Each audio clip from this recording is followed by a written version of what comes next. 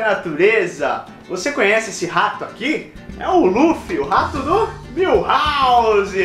Tudo bom? Chega aí, Milhouse. Afinal, estamos na sua casa aqui, ó, ó lá. Não, não nega que seu. E você deve lembrar do Milhouse e do Luffy do nosso último vídeo aí, da gente aproveitando os galhos de uma poda em plena rua. Isso mesmo. E hoje eu vim aqui pra mostrar pra vocês como é que o Milhouse aproveitou de uma forma, cara, que me surpreendeu. Porque parece um negocinho de mato mesmo, você fez num lugar bonito da casa, com planta, tudo. E é um brinquedo pros ratos, acima de tudo, não é? É, exatamente. Esse foi o principal intuito. Foi pra fazer um brinquedinho, um playground, uma área diferente, próximo da natureza, pra eles se divertirem e se sentirem mais próximos do ambiente natural deles. E se socializarem também, né? Isso. Daqui a pouco a gente vai pegar o Squeak, que é outro grandão aqui. Quick que todo mundo deve se lembrar já. É, o rato resgatado da praça. Pra quem não lembra, tá o vídeo aí. Então agora vamos lá, mostra pra gente, me explica pra gente como é que você fez essa verdadeira artimanha aqui dos ratos. vamos ver. Maravilha, vamos ver.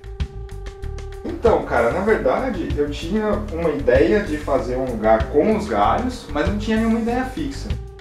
Eu fui pegando os galhos maiores primeiro, colocando, né, achando uma posição que ficaria legal e que ficaria estável para eles poderem andarem, escalarem sem ter algum problema. Quando eu coloquei esse galho principal aqui, eu já tive mais ou menos a ideia de fazer uma coisa que se assemelhasse a uma casa na árvore. Um lugar suspenso, com algum- algumas entradas, algumas possibilidades deles, deles escalarem, tem escada. Coloquei uma redinha aqui porque eu vi a possibilidade dos galhos. É muito lidando com o material que você tem, né? Fui desenvolvendo a ideia conforme ia colocando as coisas. Teve até um acabamento aqui embaixo com esses galhos menores. E ficou uma coisa muito rústica, muito legal também. Isso, a ideia foi fazer mais ou menos uma cerca com os galhos, não uma coisa que impossibilitasse totalmente eles de saírem daí, mas uma coisa que meio que desencorajassem eles. Eles olham, eles cheiram, eles podem roer, podem pegar. Ou seja, é um obstáculo, mas não é, né? É mais uma dificuldade pra eles saírem. É mais uma coisa pra eles verem, tipo, olha, não é um lugar que eu queira ir assim. Que eu, que eu vou fácil, é É. melhor, né? Vale mais a pena ficar aqui. Meu, isso aqui ficou muito legal porque parece aquelas redes de brinquedo de criança mesmo, né? Exatamente, eu tive a ideia justamente disso, daquelas redes de, de criança que você vai nos, na- nas corridas com obstáculos, de ficar subindo. Tem uma dessas bem parecida na pracinha que a gente encontrou o Squeak. Peguei a ideia e resolvi fazer. Muito legal. E a planta, essa planta aí já tava aí do lado, né? Essa aqui é uma planta que é tipo uma praga. e aí eu resolvi usar ela. Uma cobertura, né? Fazer um pouco de sombra, apesar de não bater sol direto. Aqui é um lugar bem interessante porque não bate sol direto, que impossibilitaria muito o Squeak de vir pra cá em certos horários do dia, né? Porque o Squeak é um rato albino. E aqui acaba fazendo um pouquinho de sombra pra ter um lugar que eles possam se abrigar, porque os ratos albinos têm muita sensibilidade à luz. Importante é mostrar que a estrutura ela tá bem firme, bem fixa. Não tem nenhuma possibilidade do rato destruir ou cair daqui. E como é que você fez pra fixar ela tão bem? Foram dois passos importantes que eu percebi que dava melhor estabilidade. O primeiro é tirar bem a terra, né, cavar bem fundo e não só colocar a terra de volta depois de colocar o galho, mas sim fazer um envolto nela, não no galho, com pedras, porque as pedras ajudam a segurar o galho e ele não consegue cair, não tomba. Pedrinhas pequenas, então?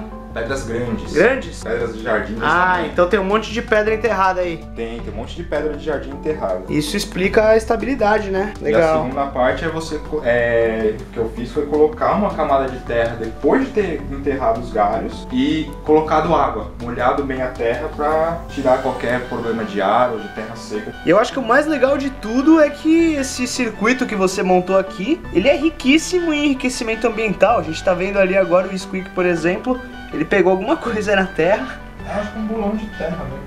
e ele tá, tá degustando aí, cara. Mas isso é importante pra esses animais, né? Estimularem o olfato em ambientes diferentes, naturais, é, sentirem o cheiro um do outro também, né? Que vão estar usando aí o mesmo brinquedo. Então, aproveitando que começou a chover agora, ainda bem que estamos no coberto aqui, né, meu? É, exatamente. Cara, parabéns. Você montou muito mais do que um brinquedo, é, um circuito de enriquecimento ambiental para os ratos, muito criativo. E agora você aí de casa também pode fazer aí também na sua casa. Você aprendeu hoje como fazer, como é simples fazer, né? Simples e barato. Barato, exatamente. Não precisa gastar muito dinheiro aí com brinquedos sofisticados em pet shops, etc. A gente consegue fazer às vezes, né? Com a própria natureza. Exatamente, que é mais legal ainda. E vocês viram que o resultado fica sensacional. Valeu mais uma vez, Mil. Valeu, Squicão. Valeu, Luffy, que tá lá no sofá. Espero que você tenha gostado. Não esqueça de dar um like, compartilhar esse vídeo para que mais gente aprenda essas técnicas bacanas que a gente mostrou aqui. E a gente se vê no próximo vídeo. Salve a natureza aí. Salve. Falou. Oi, oi, oi. Ele não vem.